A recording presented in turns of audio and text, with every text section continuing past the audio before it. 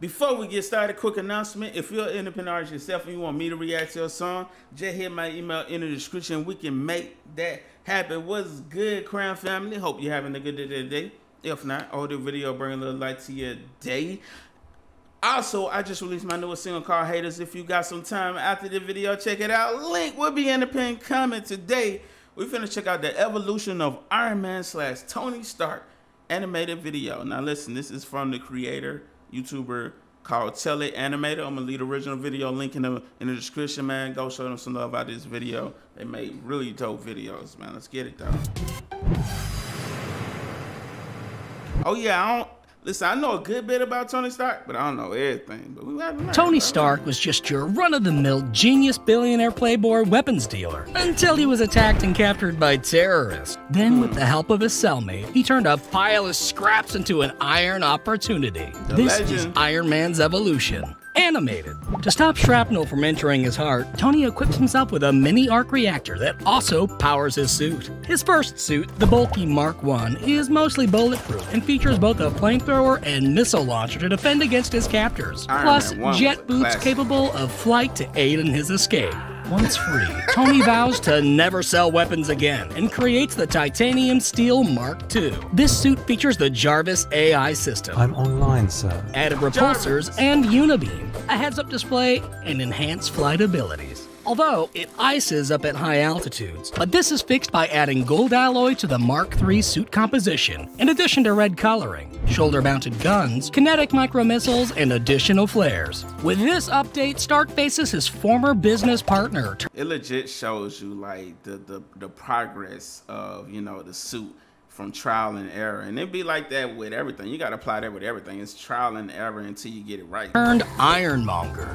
In Iron Man 2, the brighter, more streamlined Mark IV, which adds the ability to filter pee, is worn briefly, as well as the Mark V, which transforms from a suitcase into a thin-plated red and silver armor that only has his basic weaponry and is less durable. Due to his various arc reactors apparently poisoning him, Tony, supplied with a blueprint from his deceased father, creates a new element to power his arc reactors. His next suit, the Mark 6, features silver accents and a triangular unibeam, is immune and even charged by electricity, is water resistant, features additional grenade launchers, and has a single-use laser. In the suit, he combats fire. the dastardly Whiplash. In the Avengers, Tony uses metallic bracelets to deploy the pod-shaped Mark 7, which can assemble over Tony in midair. It's much bulkier and is the first suit with its own integrated arc reactor, as well as thrusters on the back to free his hands during flight, multiple use lasers, and much more firepower to defend against unwanted aliens. It's also apparently capable of briefly flying into a wormhole to nuke an alien mothership. What? In Iron Man 3, in an attempt to manage his PTSD, Tony builds many Jarvis controlled suits referred to as the Iron Legion, including the Mark 8 with added Kevlar for protection against missiles, the more refined Mark 9 with an additional jetpack, the Mark 10 which has added flight stabilizers for extra speed. Hold up, I didn't know he made that many suits. Wow!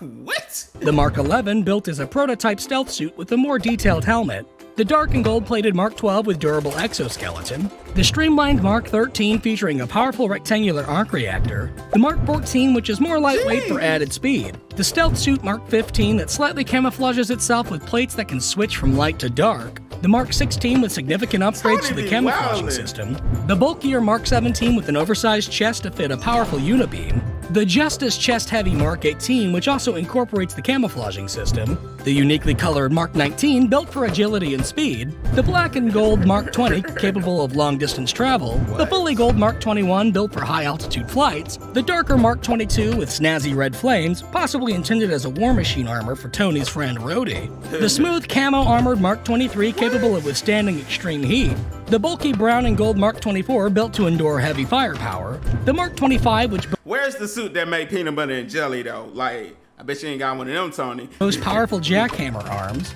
The green accented Mark 26, which retains the jackhammers and is able to resist powerful elements including gamma radiation. The blue and orange Mark 27, the only armor able to completely camouflage into its surroundings. Oh, the heavy orange and black Mark 28, which, like Mark 26, is built to withstand radiation.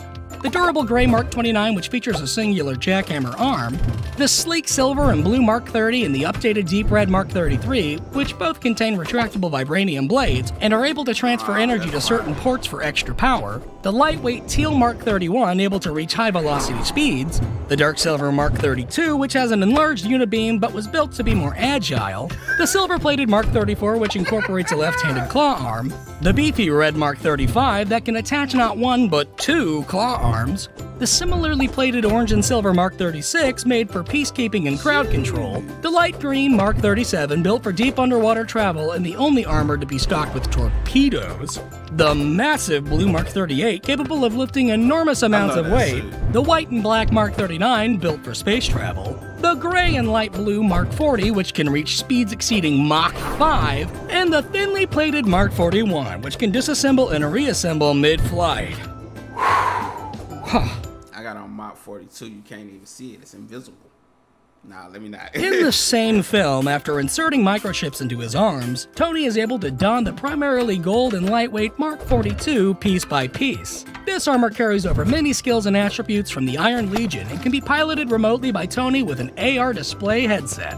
This time around, Tony battles a vengeful former nerd with help from his many armors. Following the battle, to prove his affection to his girlfriend, Pepper Potts, he destroys all of his iron suit and then finally gets surgery to remove the shrapnel from his chest, eliminating the need for his own arc reactor. Age of Ultron features the traditionally colored Mark 43, which is infrared to see through walls and incorporates a sentry mode to assist Tony when he's not wearing it. It can also attach to the humongous Hulkbuster armor, complete with a sedative gas sprayer and hydraulic puncher, to subdue a raging Hulk. Tony also makes use of a group of new white and blue Iron Legion drones. Oh, those Finally, the predominantly red and smooth plated Mark 45 is worn. This suit is marked with a hexagonal chest piece, and since Jarvis became part of a humanoid super being, Hello, Tony. this suit is instead run by the Irish Friday OS. I'm online, boss. In the Mark 45, Tony helps defeat evil sentient robots, uh, which he accidentally created.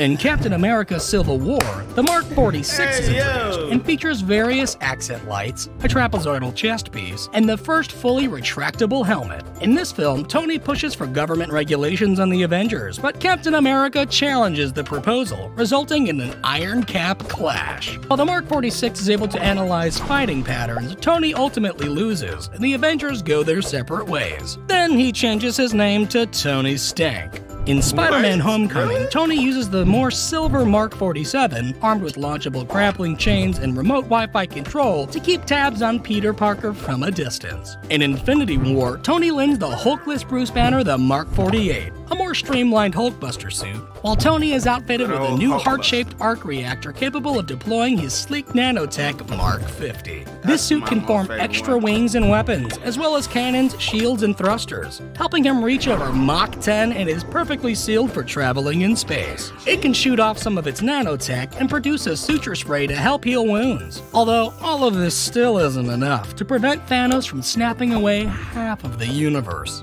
In Endgame, Tony is starving and floating through space he's brought back to Earth and then raises a family. He gifts his wife the blue and gold Mark 49 rescue armor featuring a displacer pack that can emit energy blasts. Meanwhile, Tony helps figure out time travel and sports a gray and red quantum realm suit as he goes back in time to help gather magical time stones and says a quick hello to his father. His latest iron suit, the Mark 85, features OG gold colored thighs and shoulders with added power to generate force fields and redirect lightning blasts. This suit's gauntlets are capable of holding the Infinity Stones that he uses to snap Thanos out of existence, causing Tony to sacrifice his life for Why did he have to put that part in there, man?